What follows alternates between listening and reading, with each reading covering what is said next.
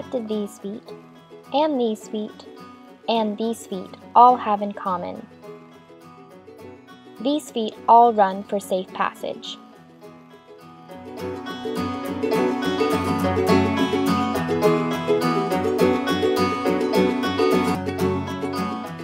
Safe Passage is a non-profit organization working to bring hope and opportunity to the children and families living around the Guatemala City garbage dump through the power of education.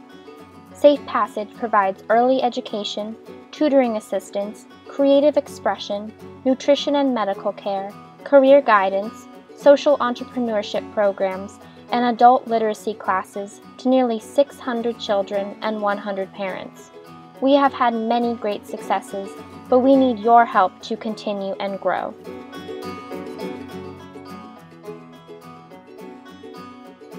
Taking place on the Artesani Park course, this scenic three-mile loop wraps around the Charles River, providing a beautiful view to both runners and spectators alike.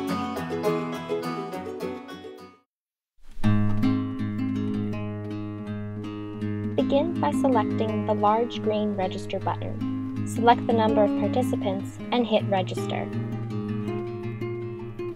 Next, you will need to create a First Giving account please input your personal information and select Next. If you are registering yourself, fill in the following information. If you are registering someone else, select the button labeled Someone Else. Please agree to the waiver and hit Next. At this time, you will be asked if you would like to join an existing team or if you would like to create one. If you would like to join a team, select one from the list presented and hit Join. If you would like to create your own team, select the link on the left and enter your team name and description.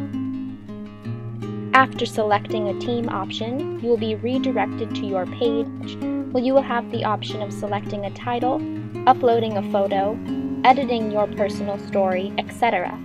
It is important to share what inspired you to fundraise for Safe Passage, and chances are it will inspire others. You are also able to create a goal for yourself and make the first donation. Select Next. You will be asked to input your billing address and credit card information. Hit Submit. Congratulations! You are now registered for the Esperanza 5K. After successfully registering, you will be directed to your fundraising page.